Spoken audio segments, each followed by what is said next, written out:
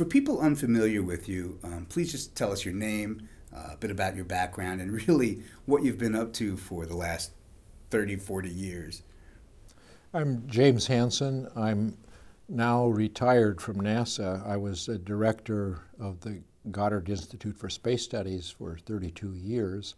I'm now at Columbia University where I'm the director of Climate Science Awareness and Solutions, uh, which is a program aimed at understanding climate change and informing the public and trying to influence uh, policies.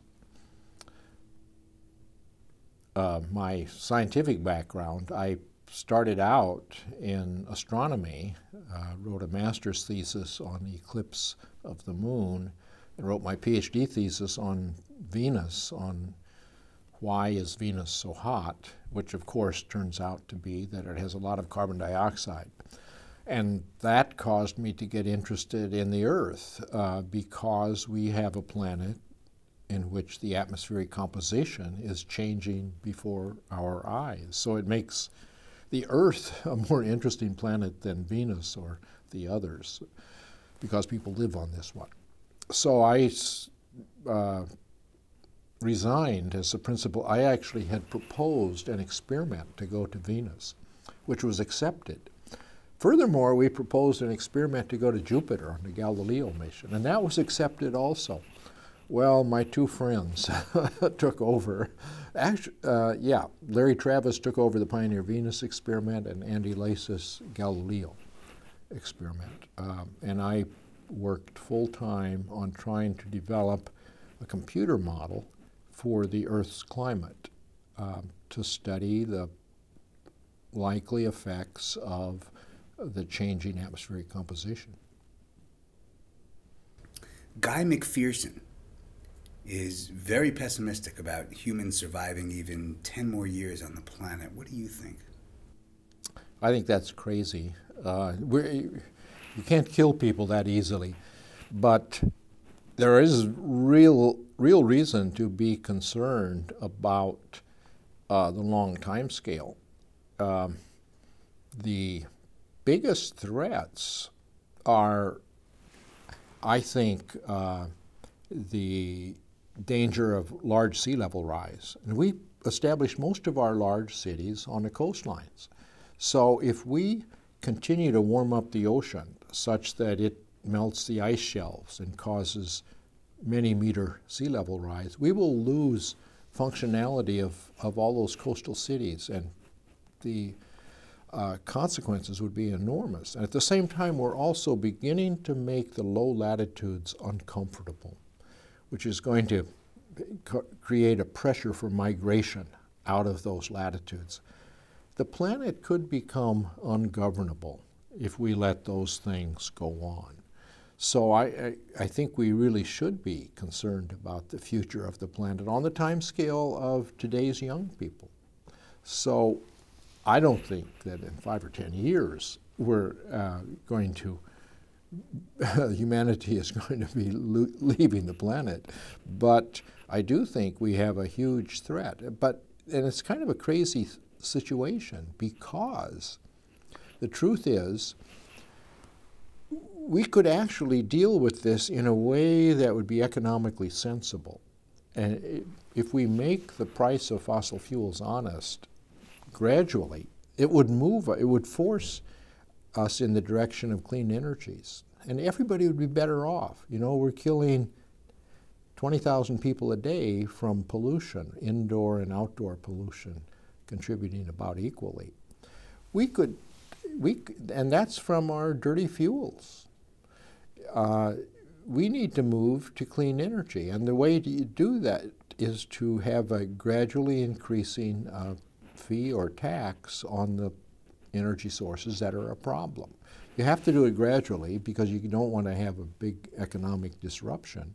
But if you do it gradually, it in fact spurs the economy. It causes entrepreneurs to try to make money. They want to come up with the clean energies. Uh, so it's a solvable problem, but our politicians are not doing it. I thought, oh, the United States is a is a is a bad actor where we have the fossil fuel industry has too much power and they've bought our government. Well, so I went to more than a dozen countries and it's not that different in other countries where fossil fuel industry is very powerful.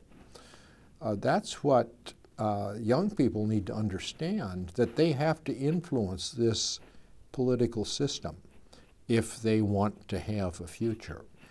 And it's something that they can do. They've proved that in recent elections in the United States, the young people had a huge impact on who was elected. Uh, but they did not uh, demand the actions that are needed to assure their future. And that's partly because they didn't understand it, I think. Um, they need to. Uh, not let politicians get away with just marginal uh, little actions which have little impact on the, the, global story. You know, we've had these big uh, international agreements, the Kyoto Protocol, the Paris Agreement, but then you make a graph of the global emissions, they keep going up. You know, so these agreements are, are nice pieces of paper, but um, they're not really changing our almost total dependence on fossil fuels for our energy. If there was unlimited money and total cooperation between countries, what technologies, solutions, or products exist to reverse climate change or take greenhouse gases out of the environment? Well, you know, the question of, of which technologies should be used to take greenhouse gases out of the atmosphere that's a question which should be answered by the uh, allowing the alternatives to compete rather than politicians making the choice, rather than the public making the choice. The public will make the choice by means of what they buy. You know, if you put a price on carbon, then products that use a lot of carbon, a lot of fossil fuels, will become relatively more expensive. And we will move then to alternatives. But to choose beforehand which uh, technology is the winning one is a bad idea because you may choose something which is not the optimum solution. We, it's very hard to guess beforehand what is uh, the best solution. Why aren't the scientists talking about this more and, and taking more aggressive action? Yeah, well, scientists are talking about the science. What my problem with the scientists is that we haven't made clear enough the urgency of the issue. Um, and we, uh, we kind of understand each other but I'm not sure the public understands us. Especially the fact that, that we could uh, deal with the issue, um, but we're not, you know. So we, we you know, the United Nations, uh, the Intergovernmental Panel on Climate Change, IPCC, puts out these reports every five or six or seven years. Uh, they're very detailed, uh, complicated scientific reports, but we, we, we need to really tell the public, you know, oh, we're not, we're not solving the problem. So they make new scenarios, for example.